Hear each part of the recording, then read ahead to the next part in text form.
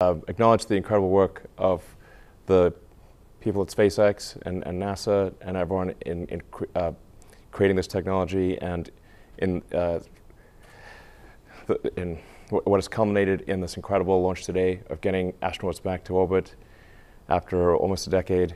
Um, I think this is something that should really get people, I mean, right on the heart of anyone who is, uh, has any spirit of exploration. And the United States is a distillation of the human spirit of exploration. I think this is something that's particularly important um, in the United States, but appeals to everyone with the, uh, throughout the world who has within them the spirit of exploration.